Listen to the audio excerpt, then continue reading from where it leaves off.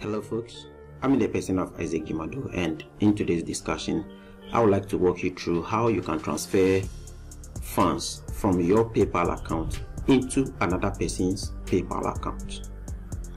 So the first and foremost thing you or we have to do is to first of all log into our PayPal account. So just as you can see, I have logged into my PayPal account. This is one um, PayPal account of mine. So in order to transfer funds from my PayPal account into another person's PayPal account, this is what we are going to do. As you are the summary, you then come to tools. Then when it collapses, then you come down to send money. So I click on it. I click on send money and wait for a little while. This is the next interface that I'm being brought to. So in the rectangular box with the inscription, name or email address. This simply means that the person you are transferring the money from your account to, the person's PayPal email address. So we have to enter the email, the recipient's PayPal email address in this rectangular box. Probably you might have sent money to the person some time back. So the person name might be here just as you can see Dzimado here.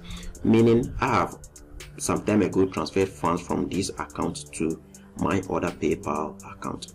So I can choose to click on the name Dzimado and I wait for a little while.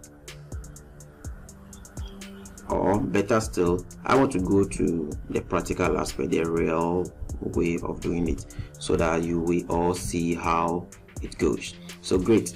In the rectangular box, my email address has been kept here just as you can see. Then I click on next.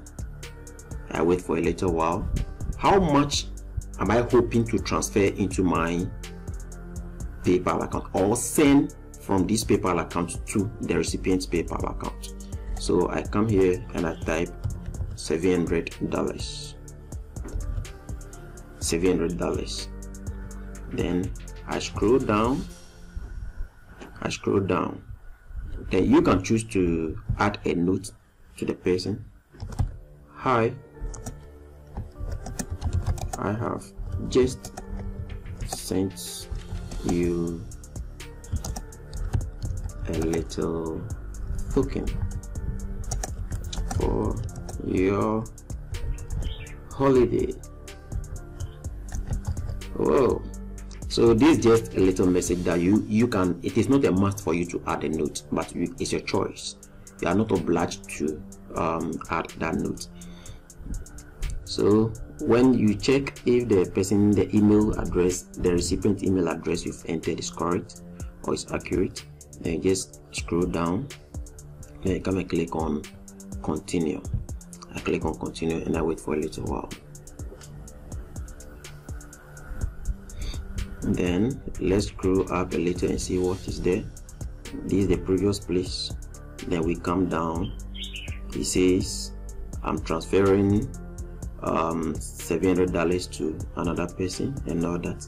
So we check from this down part. It say you are sending with.